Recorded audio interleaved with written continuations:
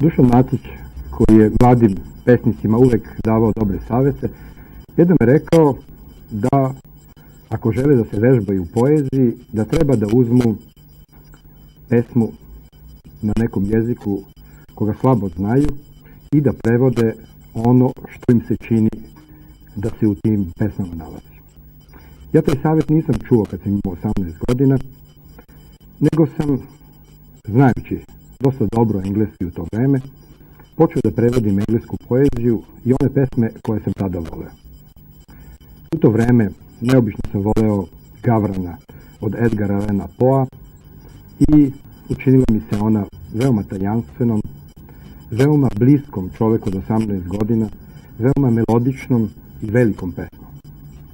Preveo sam je stih po stih, čitao sam je veoma dugo, ne znajući u to vreme dobro pravila versifikacije, ritma poezije, svih pravila, ja sam jednostavno, čitajući dugo tu poeziju, uspeo da uđem u njene ritmove i slušajući ove stihove i ponavljajući stalno, ja sam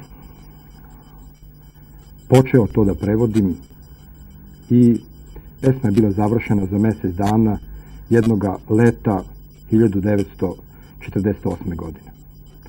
Kasnije ta pesma je štampana u studentu, bilo je to jedno od prvih prevoda novih, posleratnih ove pesme, ove poeme Edgar Allan Poa, Poa koje se veoma često prevodi u našoj poeziji i ona je bila štampana na celoj strani i čuo sam mnogo lepih reči o tom svom prevodu i to me ohrabrilo da i dalje prevodim mnogo ozbiljnije stvari mnogo teže stvari mnogo hermetičnije poezije prolazilo je vreme ja sam počeo mnogo više da čitam o poeziji mnogo više da čitam komentara i naišao sam jednoga dana i na pojave komentare Edgar Allan Poe poeme Gavran i drugih i sve one tajne, sva ta tumačenja su mi razvejali.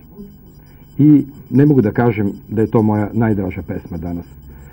Sve ta tumačenja gotovo su skinula nekakav oreal tajanstvenosti sa te pesme i ja sam sad predstao da volim tu pesmu koju sam najviše voleo u mladosti i ostalo je samo da volim taj svoj mladalački prevod.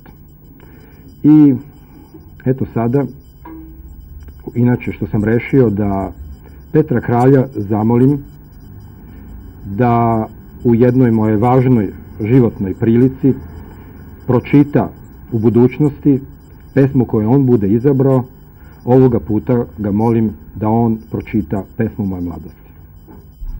Nad stranama knjige stare, starostavne, pune tajni. Jedne strašne, strašne noći, kad razmišljah u samoći, u nemiru, glava klonu, sa snom se borim, tihi kucan iznenada, kod da neko tiho lupa, tiho tiše na zvekiru, posetilac šapnuh sebi, eno lupa na zvekiru, samo to je, ništa više. A sećam se sasvim jasno, sve to beše u decembru tmurnu, kasno, ugarak je tinjav podom, njiho svet utvara, jedno more.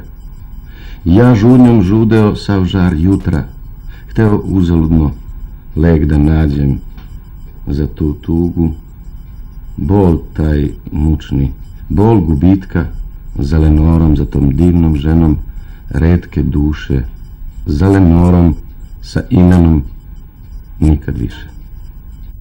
Neznano me jezom jezovitom obuzelo, strahovanjem strašnim rasplamsalo, to rađanje nepoznato zavese od rujne svile. A kako bih umirio to lupanje srca moga, uhvatih se ponavljanja ubogoga. Posetilac to je kasni, što ti lupa sad zvekirom. Posetilac to je časni, što ti stupa pred zvekirom tiho tiše, samo to je, ništa više. No ubrzo, strah na minu, da prekinem tu tišinu, rekoh tada. Gospodine ili gospođo, izvinite, ja vas molim. Stvarno znate, ja zadremah. A kucnu ste kratko, namah. Lupnuli ste tako nežno, nežno kao dašak, dah, ja ne uspeh da vas čujem. Tu otvorih širom vrata i začutah. Grud ne diše, svuda tmina, pomrčina, ništa više.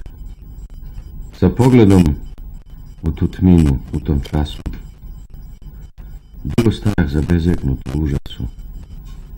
Sanjao sam, no svešću se kovitlaju kovitlac novi strašnih za smrtnika. Ali tišina osta nema. Iz tišine ni priznaka. Tada začuh šapat reči što šanuše. Ova nora, samo to